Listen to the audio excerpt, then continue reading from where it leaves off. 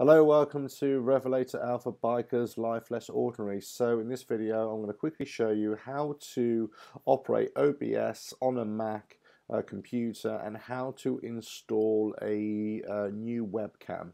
It's quite simple. So I'm currently using the Ausdom uh, Speedle uh, webcam. The links are below if you're interested. It's it's it's an okay webcam. It's not obviously of the higher range, but you certainly get HD quality out of it. Okay, Let's go to the screen and I'll show you exactly what I mean. Revelator Alf.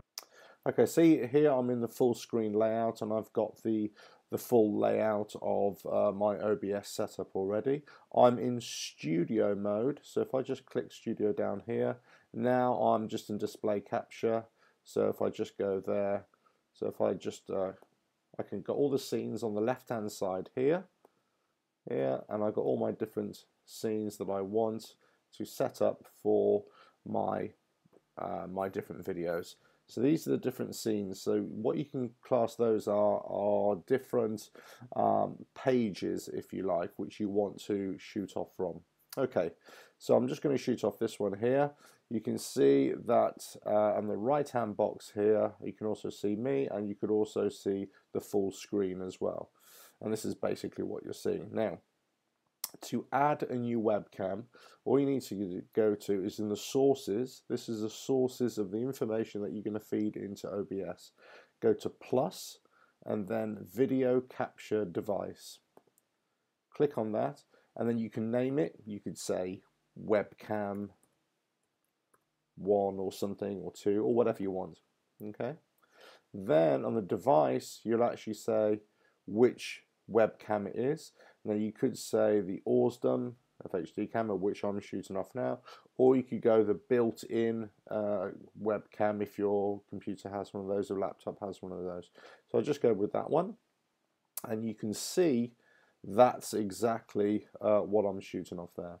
Now you can use the preset, okay, and the preset is 1280 by 720. The reason why it's a preset of 720, as in the lower grade HD, uh, is because it takes a lot of uh, processing power to stream and to record uh, live screen recording at 1080. So it gives you a chance to say, well, you can record at a slightly lower level but still get reasonable quality or good quality. So 720 HD, certainly for YouTube, is absolutely fine. Personally, I would stick to that. If you can, you can go to different settings. So unclick the preset and you can click 1080 there if you want to. Personally, I wouldn't. I would go to 1280 by 720 and you can leave the use buffering alone if you want to okay so you just click on that and there on your left hand screen here this is your full HD picture this is your full uh, 720 picture.